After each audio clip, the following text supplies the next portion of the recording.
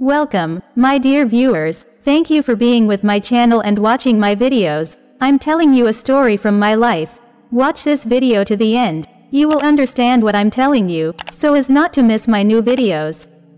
Do not forget to subscribe to the channel and leave your explanations in the comments then let's go. At last, the day arrived when I could escape the constant sight of your face. Those freeloaders, who did nothing but consume without contributing, needed to go. They should be grateful for the charity they've received all this time. Understood. I declared, I won't be coming back. Thank you for everything until now. Swiftly, I gathered my essentials and bid farewell to the place I had called my in laws home for many years. As I left, my mother in law wore a satisfied expression, relishing my departure. However, only I harbored a certain poignant truth. My name is Sarah. I'm 32 years old and work remotely from home. Married to Alan for five years, our marital bliss took a turn in our fourth year when Alan's previously robust father fell ill, necessitating our presence and care. Initially resistant to the idea of living with my in laws, I acquiesced due to Alan being their sole source of familial support. Despite contemplating quitting my job for his care, my company permitted me to continue working remotely, considering my past performance. The complications with my in laws began immediately, familiarizing me with the notorious mother in law and daughter in law dynamic. Sarah, hurry up and tend to the cooking and cleaning. How long will you be lazy, avoiding your household duties? Scolded my mother in law. I'm working right now. What are you talking about? I'm always clicking away on the computer, I retorted. The truth was, amidst household chores and caring for my ailing father in law, I utilized my skills to regain my pre crisis salary. After about three months of intense effort, when my earnings matched their previous peak, I felt genuine joy. However, the reason for my relentless dedication lay in the financial reality.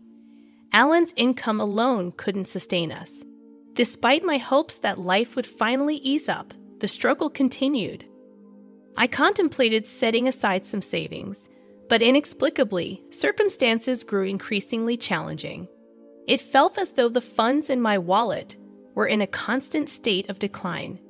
Intrigued by this, I scrutinized our expenses and discovered that Alan had been indulging in lavish spending.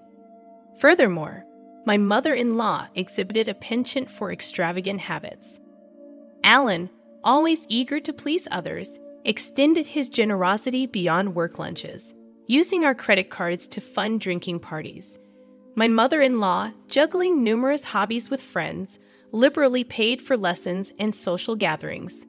Despite their profligate ways, the burden of household chores and caring for my ailing father in law fell solely on me. I found myself covering all our living expenses with my income, making the prospect of saving money seem like a distant dream. Anxious about our financial situation, I approach Alan and my mother in law. Alan, mother, it seems we've been spending excessively. If this continues, we'll deplete our finances. Could you please consider cutting back on your expenses? I implored. In response, Alan and my mother in law harshly dismissed my concerns. I don't want to appear stingy in front of my colleagues and subordinates. Can't you understand that? argued Alan. They won't think you're stingy just because you don't pay for them every single time, I reasoned. Maintaining good relationships with your coworkers is important, but what about the trips to the girls' bars? That has nothing to do with work, I pointed out. You just want to have fun, don't you? How about you come home drunk and start talking about it, even if no one asks you?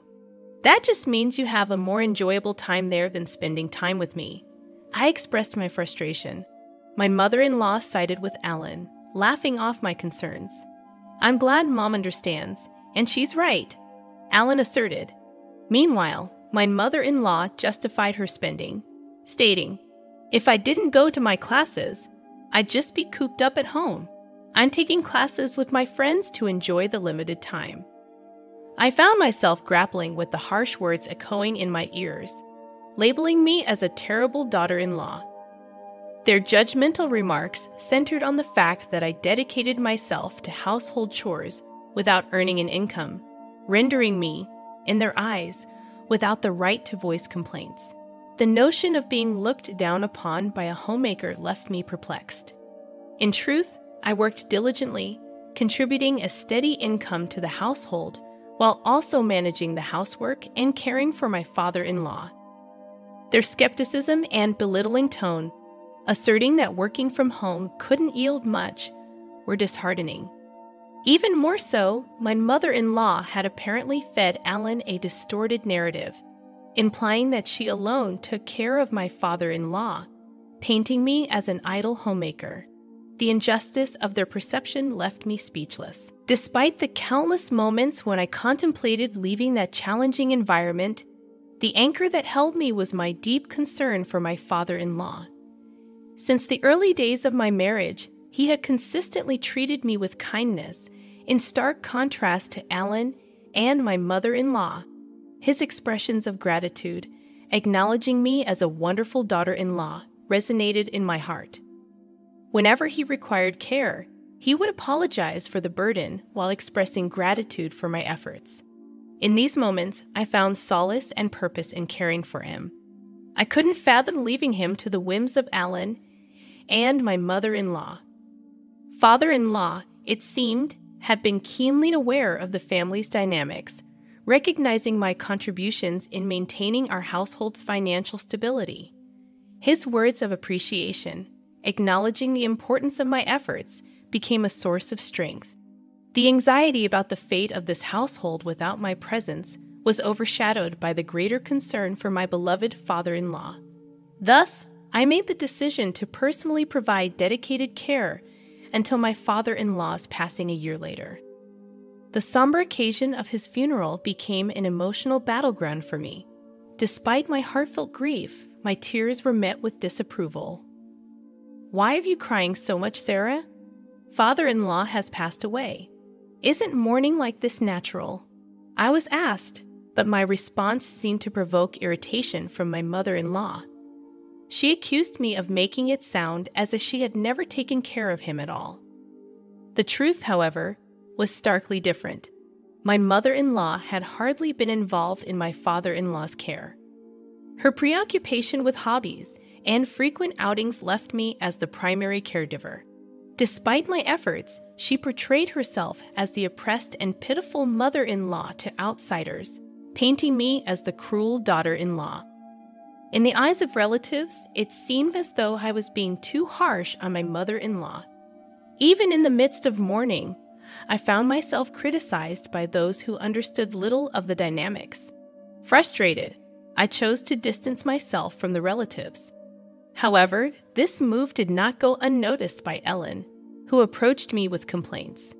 You embarrassed mom in front of everyone, he accused. That doesn't make any sense. I was only crying about father in law's death. Despite that, your mom told me it was strange for me to cry. I never said she hadn't taken care of dad at all. I just talked about mourning the loss of my father in law, whom I had always cared for. I defended myself. In the escalating argument, Alan accused me of insulting his mother and suggested that if it bothered me so much, I should have cared for his father myself. The clash intensified, prompting the intervention of relatives who finally put an end to our quarrel. Following that incident, I maintained complete silence with my husband. After the funeral proceedings concluded, a lawyer arrived to discuss the inheritance. The lawyer began I'd like to discuss the contents of the will regarding your late father's estate. Firstly, to the wife and daughter in law, Sarah, he's left half of his cash to each of you. To his son, Alan, he's left ownership of the family land and home. My mother in law questioned, What if Alan gets the land and the house? Doesn't that mean all the other assets go to the wife? Why is Sarah receiving an inheritance She's not related by blood. The lawyer responded, Your husband was deeply grateful to Sarah for the dedicated care she gave him. He wanted to express his gratitude by giving her part of the inheritance. This decision cannot be changed. Unable to accept this, my mother in law accused, I can't believe it. You were caring for him just to get the inheritance, weren't you? I defended myself, explaining, I had a good relationship with my father in law since I got married. I took care of him to express my gratitude. My mother in law continued with her accusations, suggesting it was psychological abuse. Frustrated, she eventually gave up, and the lawyer continued. So that was Dad's decision. It's gratitude for Sarah's caring, right? If that's the case, then we have no choice but to follow it. May I continue? As the lawyer proceeded, my mother in law's discontented expression turned into a smile, and she exclaimed, Yes, that's great. I understand. Confused, my husband questioned her, What do you mean? But my mother in law seemed pleased and explained, Now that dad's living is over, it's no longer necessary to rely on Sarah. Her inheritance is nothing more than severance pay. We don't need her in this house anymore. My mother in law had misunderstood my father in law's will just as he had intended. In truth, he had discussed this plan with me before his passing. He wanted me to be free from the constraints of this house after his demise. Using the will, he cleverly deceived my husband and mother in law, making it seem natural for me to leave, just as he had planned. My mother in law, misinterpreting my father in law's intentions, saw the will as an opportunity to eject me from the family, concealing my actual desire to leave. I responded to her shock by saying, Father in law, why would you treat me like this? Even to Dad, I was just someone taking care of him. Alan, you can't understand Sarah anymore, right? Why don't you just divorce her?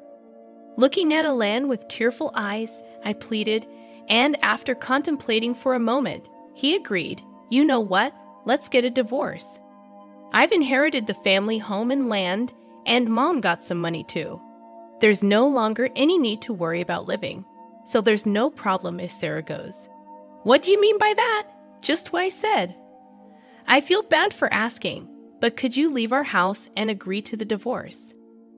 Understanding that there was no place for me there anymore, I agreed. Understood. I guess there's no place for me here anymore. With a hint of restraint, I retrieved the document from the drawer and handed it to my husband. It was a notice of filing for divorce, prepared after our previous argument. My husband promptly signed it, expressing, Finally, I don't have to deal with you anymore. A non working freeloader should just get out. You should be grateful for us having put up with you, a total freeloader. Is that so? Okay, I understand. I'll leave. Thank you for things up to now. As I left, my mother in law appeared elated, unaware of what would transpire in the future of their house. Once out of their home, I wasted no time and immediately submitted the divorce notice to the City Hall. Arriving at the apartment I had rented in advance, the spacious room echoed with my joy as I exclaimed, Finally, I can be by myself. This is great. I felt overwhelmed with joy to be liberated from a challenging marriage. My heartfelt gratitude extended to my father in law for devising the plan that enabled my escape from my in law's home. Subsequently, I embraced a comfortable life living on my own, appreciating the newfound freedom and the ability to continue working remotely, a skill I had cultivated during my time at my in law's place. Having honed my time management skills, Work flowed smoothly, and my income increased, allowing me to lead a comfortable life free from interference. However, my peaceful existence took an unexpected turn when my ex husband, Alan, called me out of the blue. Perplexed, I questioned, It's been a while. Why are you calling me? Weren't you the one telling me to disappear? Sarah, please help us. We're in a pinch, Alan pleaded. I chuckled, finding the situation ironic. What kind of joke is this? My salary hasn't changed, but for some reason, you're running out of money. We can't live like this. With a laugh, I decided to deliver the final blow. That's because you no longer have my income to support you. You squandered your entire salary on yourself. Maybe it's about time you and your mother learned some financial responsibility as adults. Confused, Alan asked, What do you mean? You still don't get it. I clarified. While you were living lavishly, my salary was the one paying for our living expenses. At that time, I was making about $4,800 a month. Now I'm earning even more than that with no one to get in my way. Expressing frustration, Alan pleaded, Sarah, can't we start over? It was a mistake to let you go. I want to make things right again. I scoffed. It's obvious you're after my income. Don't be ridiculous. I never want to see your face again. What happened to the inheritance your mother received? With that amount, she should be living comfortably. Alan confessed. It's about to run out. We spend it on a shopping spree, overseas trips, and half of it disappeared in the casino. Unmoved, I retorted, A foolish mother breeds a foolish son. I have nothing more to say to you. I'm a stranger now, and I can't do anything for you, nor do I want to. Desperate, Alan implored, Don't be so heartless. Help me. This has nothing to do with me. There's nothing more to talk about. I'm hanging up. Don't call me again. I declare before ending the call and promptly canceling the contract for the mobile phone I was using. A year later, passing by my mother in law's house, I discovered it had become an empty lot, likely sold due to financial struggles. Unperturbed, I continued with my newfound spare time, attending a wine class I had long been interested in. There, I met a man two years my senior who took me seriously. After a year and a half of dating, we got married. He is the ace of a well known company, humble despite his high salary, with a warm and wonderful character. We respect each other's careers, leading to a fulfilling married life. Reflecting on these changes, I can't help but feel that this retribution was, in a way, a gift from my father in law.